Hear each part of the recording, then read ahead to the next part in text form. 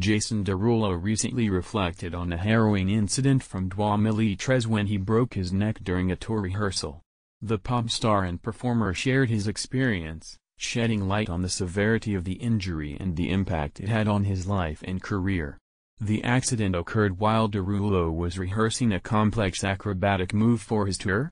A miscalculation led to a fall that resulted in a fractured neck, a potentially life-threatening injury.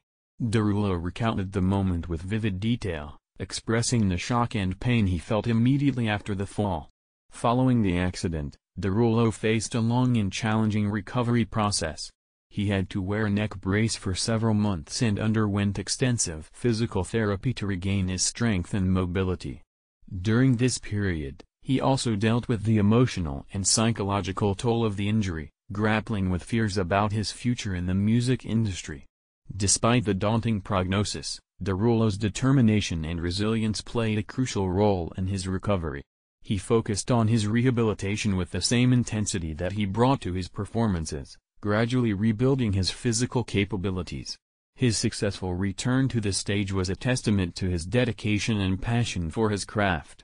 Derulo's account of the accident and his recovery serves as an inspiring reminder of the challenges that artists can face behind the scenes. His story highlights the importance of perseverance and the strength it takes to overcome significant obstacles.